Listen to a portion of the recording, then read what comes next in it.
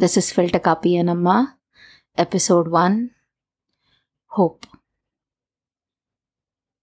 Have you ever watched a TV show or a movie and then a scene comes on and you are completely connected with it? You are in the moment feeling every single emotion that the character is feeling in there you have goosebumps and you're in that sense of clarity with those words. To me, that moment happened when I was watching Avatar, The Last Airbender, where Uncle Iroh and Zuko are sitting by the stream, where Zuko has failed again and again, where he's in complete and total dismay in that moment, Uncle Iroh says something to him that resonates even today with me. Even today, I have goosebumps when I watch that episode. So, in Uncle Iroh's words, you must never give in to despair. Allow yourself to slip down that road and you surrender to your lowest instincts. You give yourself hope in the darkest of times. That is the meaning of inner strength. And that's how I knew that I had inner strength.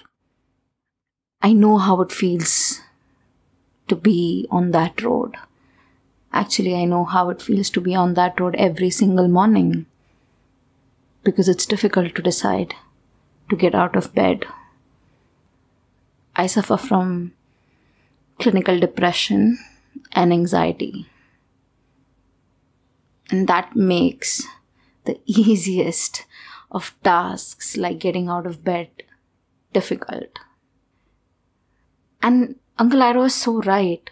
You know, he's spot on about hope when he says that you have to give it to yourself. Nobody else can give it to you. People are there for you. They can support you. They can say all the right words, and it still wouldn't matter if you can't give yourself hope. If you can't let yourself be driven by that hope. But I realized something very important through my battle with depression. It is not the big achievements where I found hope it's not something that I would post on Instagram or Facebook and get that rush of dopamine in my brain.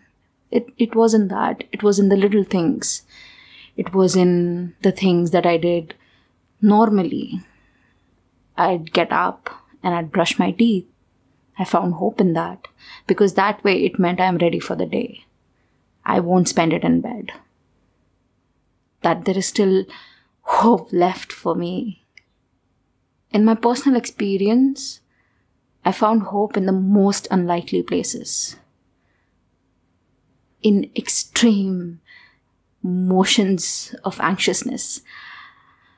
Every time I pick up a brush and I paint, I could feel the anxiety moving away from me physically. It's intangible, but I could feel it. And that's what I want to, I guess, convey to people out there. Find hope in little things. Embrace it. Let it be your inner strength. Build on it slowly and gradually. And then you'll see the beauty that is life. You allow yourself to be in the day have trackers. I personally have a habit tracker wherein I hold myself accountable for every single action that I do, which is important for me, like doing Sudoku every day or walking 5,000 steps every day.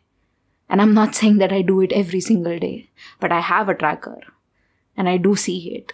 That's the game. That's the catch here that you do it step by step, slowly and gradually. And then one day you're better. And I have hope for myself that I'll be better and the day will be possible. So I guess I'm going to leave everyone with this thought today is possible. And try to seek hope today. Try to seek it fiercely. Thank you.